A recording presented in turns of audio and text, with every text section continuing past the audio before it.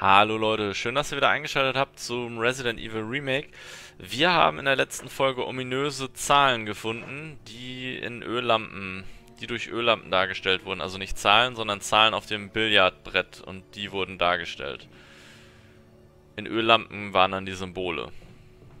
So, wow! Okay, okay, okay, okay. Ja,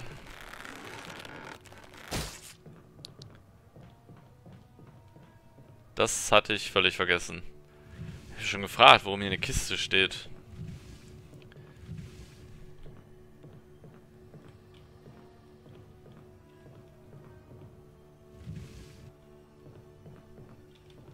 Gucken, wie angeschlagen sind wir denn? Oh, wir sind sehr angeschlagen. Kisten schieben lohnt sich nicht, my darling. Na doch, Kisten schieben lohnt sich.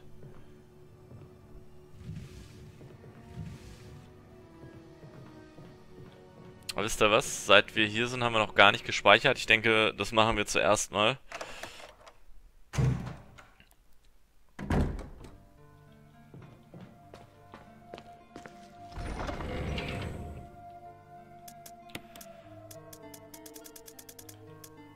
Weiß nicht, ob wir das Feuerzeug hier nochmal brauchen. Eine alte Schreibmaschine, ja, das Farbband verwenden. Oha, und dann speichern wir schon zum zehnten Mal.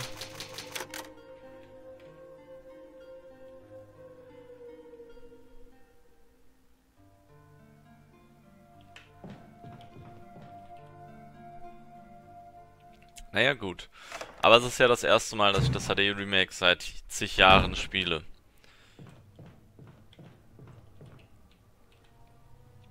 Allerdings habe ich jetzt schon Lust, mal wieder den Gamecube anzuschließen und einfach mal wieder eine Runde Resident Evil 2 zu spielen. Weil das ist mein absolutes Lieblings-Resident Evil. Teil 1 ist schön und gut, es ist cool, es ist der Ursprung, aber Resident Evil 2 ist, äh, hier scheint es nichts Nützliches zu geben, ist absolut mein Lieblings-Resident Evil. Weil man hat halt, mit, mit Claire spielt man halt Part A und mit Leon dann Part B und bei jedem ist es halt irgendwie anders. Und ähm, ja, man kann das Spiel halt viermal durchspielen. Man kann dann auch mit Leon Part A und mit Claire Part B machen und dann spielt sich das wieder ein bisschen anders. Und erst macht's halt, finde ich persönlich, äh, sehr. Ja, es erhöht den Wiederspielfaktor halt. Die Tür ist verschlossen. Auf dem Türschild steht Galerie. Ja.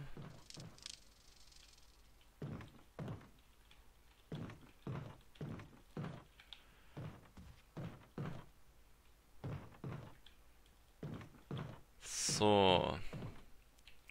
Da ist eine Karte von Residenz. Mitnehmen. Ja, machen wir mal. Es hat jetzt nicht nur Vorteile, dass wir diese Karte mitgenommen hat, haben. Da ist ein Loch in der Wand. Genau. Sehen einen großen Bienenstock. So, und genau deshalb hatte das jetzt nicht nur Vorteile, dass wir die Karte genommen haben.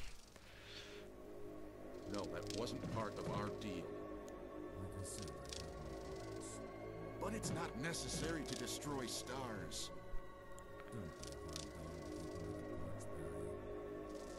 What about my family?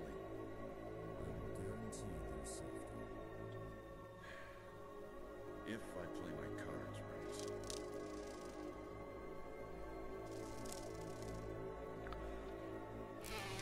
right. Whoa.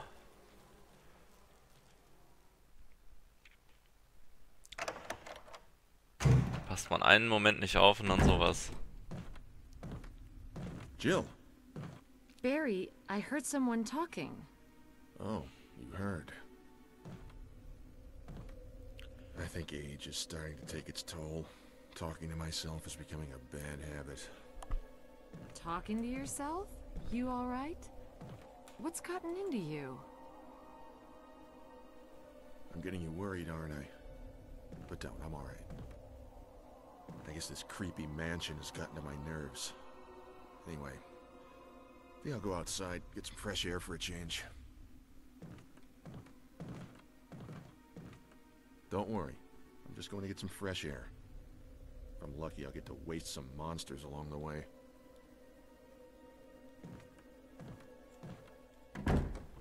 Ach, Barry.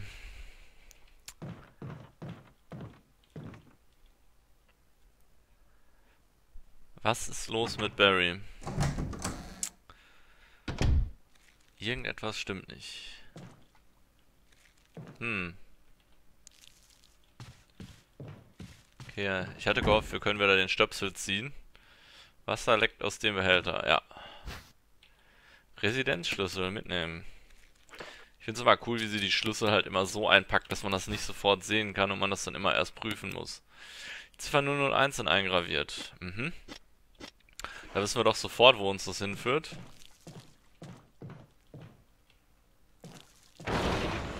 Wow.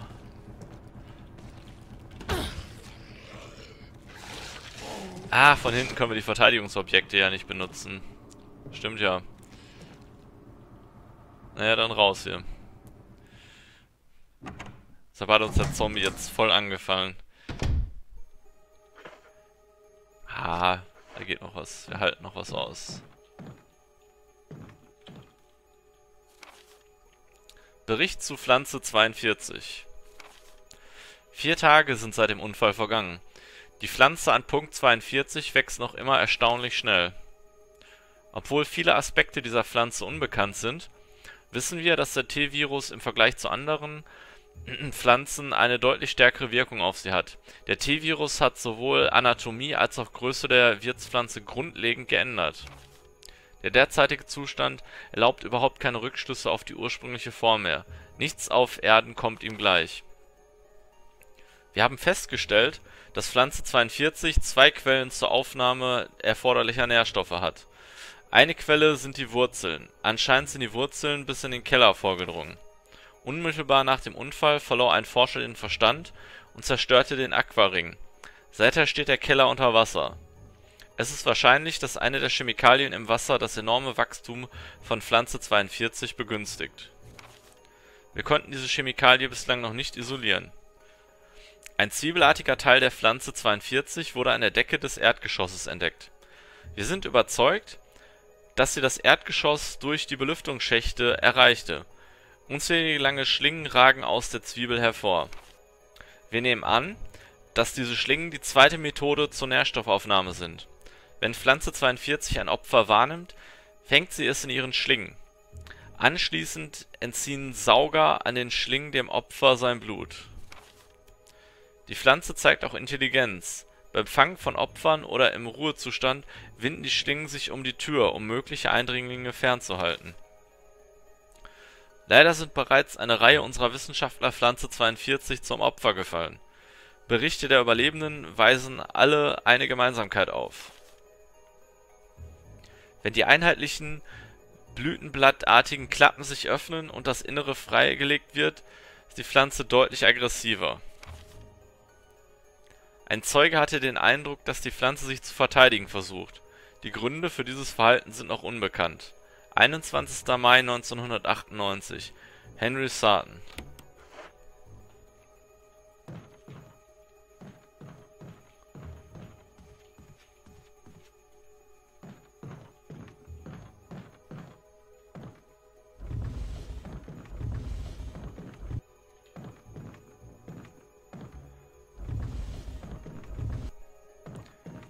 So, wir haben hier einen Gang hinter den Regalen. Äh, da gehen wir jetzt aber noch nicht runter, weil wir haben ja diesen Schlüssel mit 001 drauf gefunden. Und da würde ich halt gerne zuerst mal rein.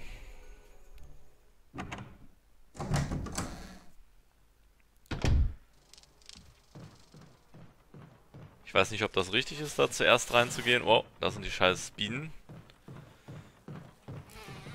Na,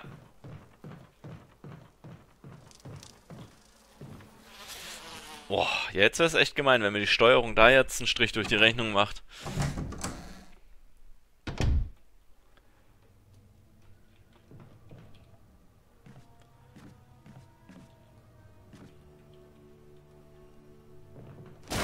Wow!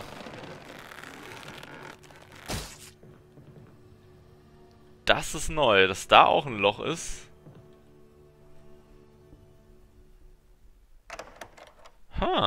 Interessant. Oder habe ich die Kiste falsch gestellt?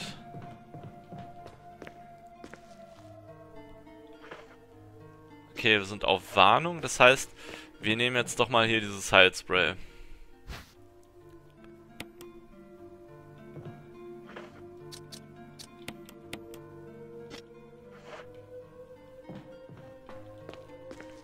Und wir nehmen auch noch... Nicht, nehmen wir noch zusätzlich die Pistole mit? Äh, äh,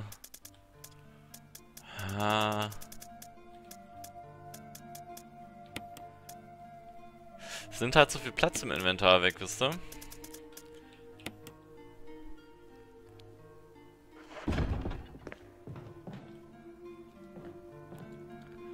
Ja, wir hätten, glaube ich, echt... Wir hätten die Kiste anders stellen müssen. Hätten die Kiste vorne auf das kleine Loch stellen sollen. Und, ähm... Danach, nachdem wir die äh, Kiste benutzt haben, also hätten wir dann über die Doppelkiste quasi klettern sollen müssen. Na egal.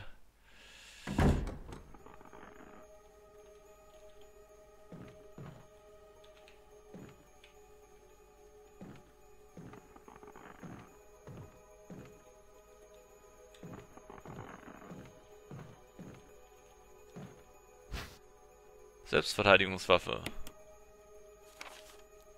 Selbstmordbrief.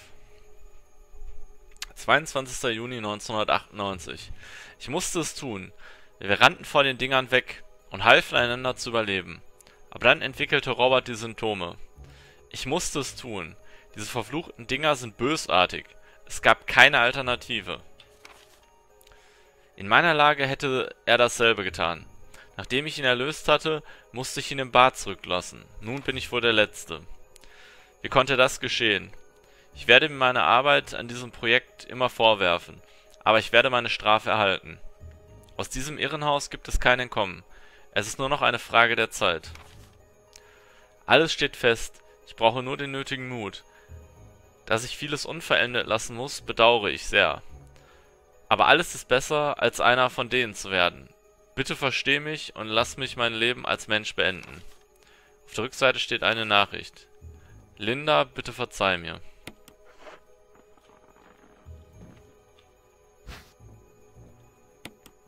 So, 15 Schuss und nochmal 15 Schuss. Nicht, dass wir nicht noch schon genug äh, Munition hätten. Ein alter Bücherschrank. Die Bücher handeln fast alle von Literatur und Philosophie. Ja, ist glaube ich wenig nützlich.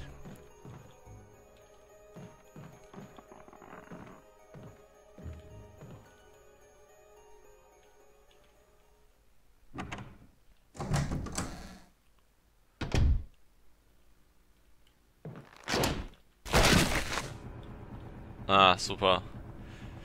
Da ist wohl das Seil gerissen.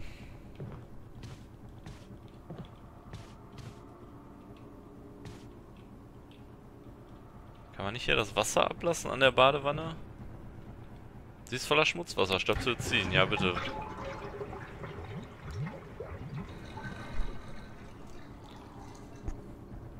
Da ist etwas in der Badewanne.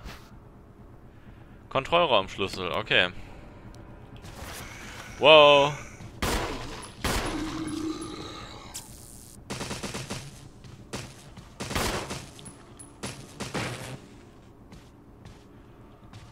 Okay, so viel dazu.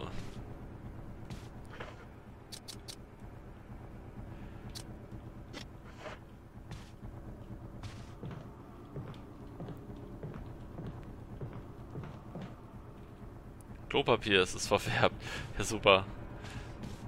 Gut, dann haben wir hier alles. Ist ja doch gut, dass wir dann erst hier lang gegangen sind.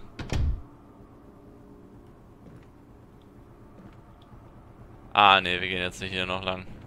Nee, nee, nee, nee, nee.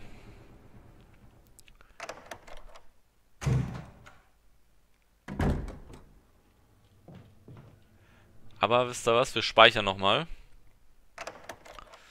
Sieht ja doch jetzt hier ein bisschen hin und her gelaufen.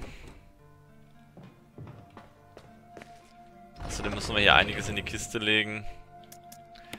Ich glaube, ich bleibe doch bei der Schrotflinte. Es ist ja, man muss hier sehr oft auf engem Raum navigieren und da ist es halt doch eher suboptimal. Die Selbstverteidigungswaffe ist auch ganz okay, allerdings ist es halt eher so ein Ding, ja, äh, ein Schuss in Stärke der Magnum. Und das können wir dann auf Dauer halt, ja, können wir es nicht gebrauchen. Ist halt einfach nur eine Verschwendung von einem Inventarplatz. Eine alte Schreibmaschine. Sie können Ihre Fortschritte speichern. Das Farbband verwenden? Ja.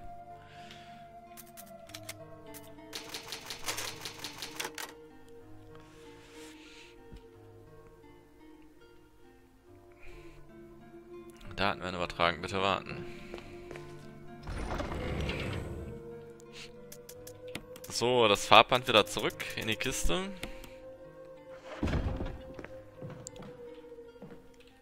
Und ab geht's.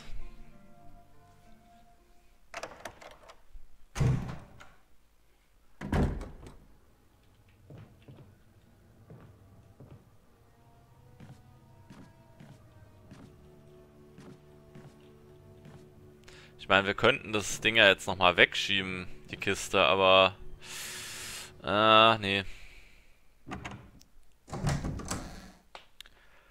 wir nur gucken, dass wir nicht angeschlagen sind, wenn wir hier demnächst langlaufen.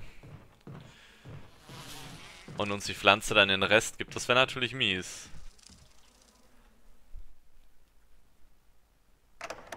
Aber ihr seht schon, momentan will uns ja alles ans Leder. Die Bienen. Ich glaube auch gegen die Bienen können wir gar nichts tun. Wenn wir die abschießen, dann kommen durchs Loch einfach immer nach und nach neue. Ist eine Leiter hinuntersteigen.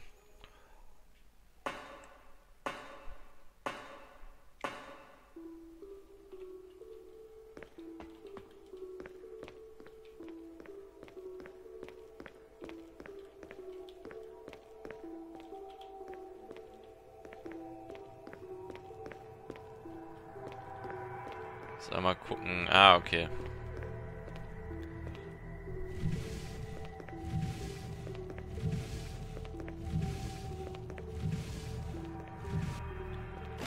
Wir bauen uns eine Brücke.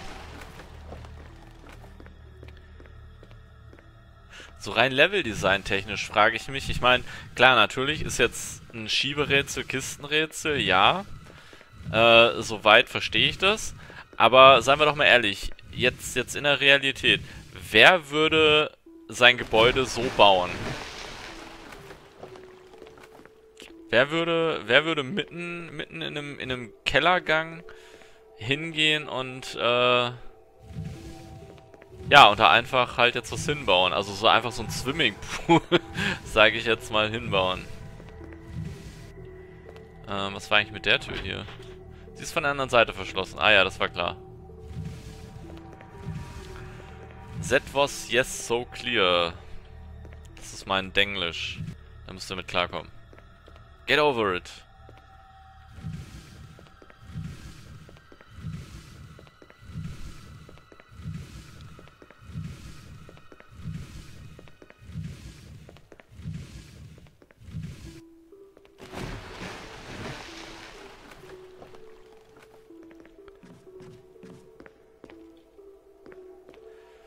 Hier ist noch ein Kraut. Hm. Müssen wir überlegen, ob wir das mitnehmen. Darf ich das leere Buch erstmal noch... Ist das Buch tatsächlich leer?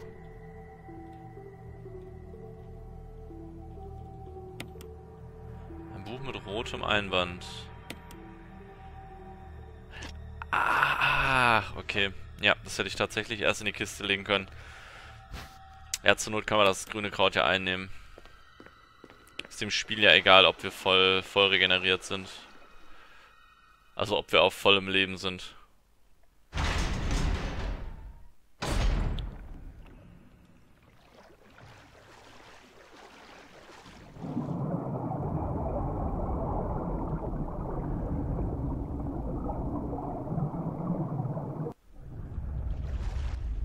Oh mein Gott, Haie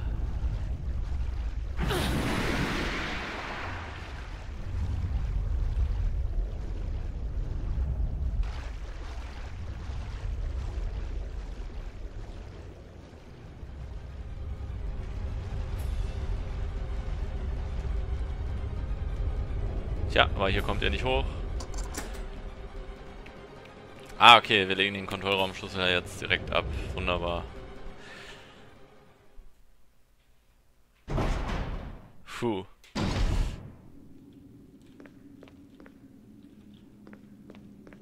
Rote Lämpchen. Die Warnlampen deuten auf einen Notfall hin. Danke, da wäre ich ja nicht drauf gekommen.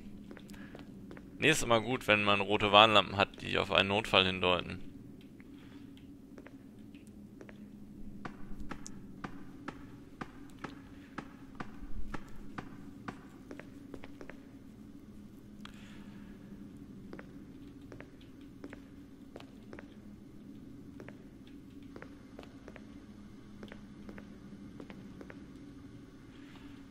Eine Druckkammer. Mhm.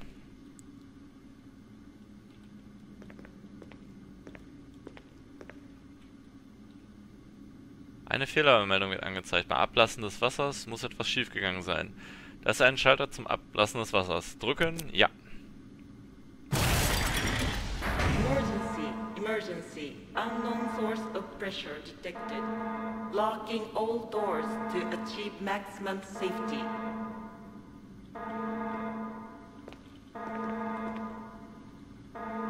Ablassen kann nicht fortgesetzt werden. Das ist ein Steuerhebel für Druckkammer. Er lässt sich verstellen, wenn der Sicherheitsmechanismus gelöst ist. Okay. Reaching 30% of pressure threshold. Na, jetzt äh, gerade macht mir die Steuerung hier Probleme. Ein Öldruckregler. Sie brauchen den Öldruck jetzt nicht zu ändern. Okay, wo muss ich denn dann hin? Reaching 50% of pressure threshold. Ablassen kann nicht fortgesetzt werden. Die Druckkammer ist verschlossen. Sicherheitsmechanismus lösen? Ja. Activate emergency drainage system immediately.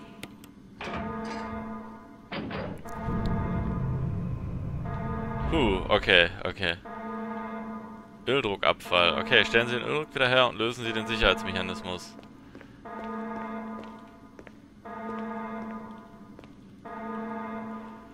Öldruckregler. Welchen Schalter drücken? Äh...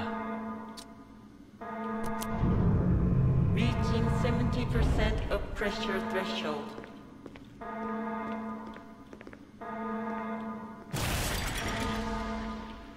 Okay, Sicherheitsmechanismus lösen.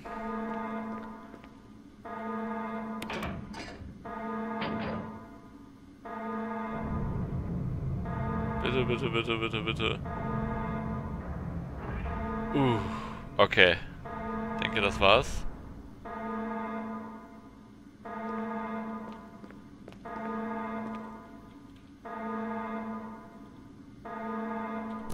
Ah, wir können das Wasser ablassen, wunderbar.